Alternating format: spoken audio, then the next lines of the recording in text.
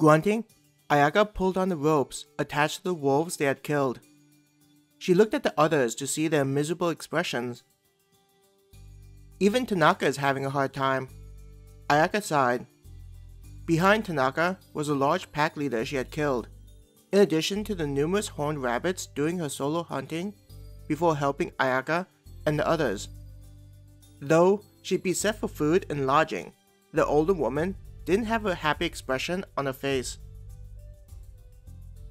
I wonder if we'll be able to reach the town before the sun sets.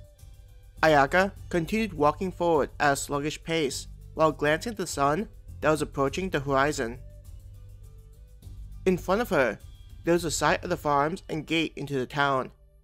She sighed happily at knowing that they weren't too far away.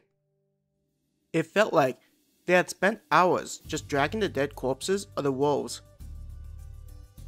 After a grunt, Masio asked, How much do you think the guild is going to give us for all of this?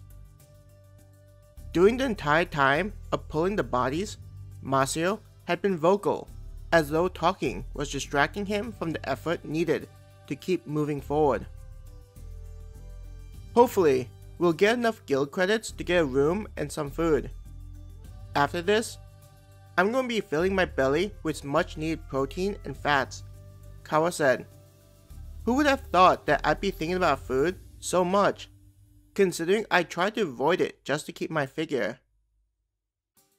Hearing Kawa's words, Ayaka giggled. I mean, I love eating food, but guys prefer their girls being on the slimmer side. Kawa complained. You look great as you are.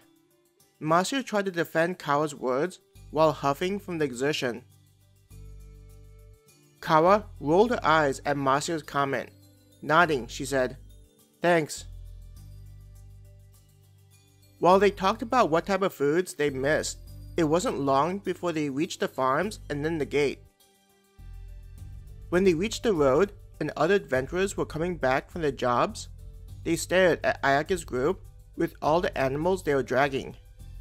There were whispers and laughter, especially from the adventurers who had a cart designed for carrying monster corpses.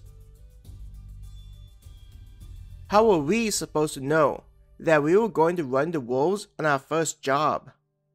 I mean, we didn't even have the money to afford such a thing, even if we wanted one. Let alone a cart, our funds didn't allow for a sack for those horned rabbits. Ayaka growled in her mind. When finally reaching the gate, trying to ignore all the stares and gossiping, Ayaka was just glad that there wasn't a line of merchants waiting to get in. The people in line were merely adventurers, so she anticipated that it wouldn't take much time before they could enter.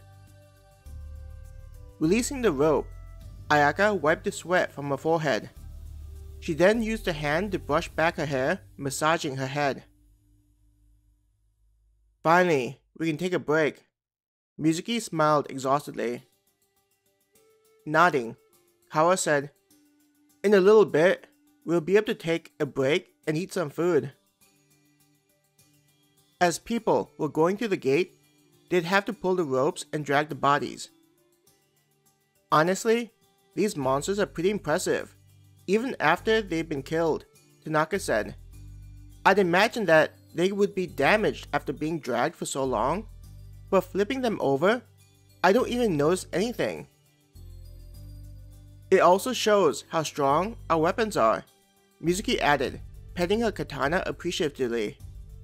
If we had the type of weapons in the real world, like the historical versions, I get the feeling that our weapons would have been useless even against a horned rabbit.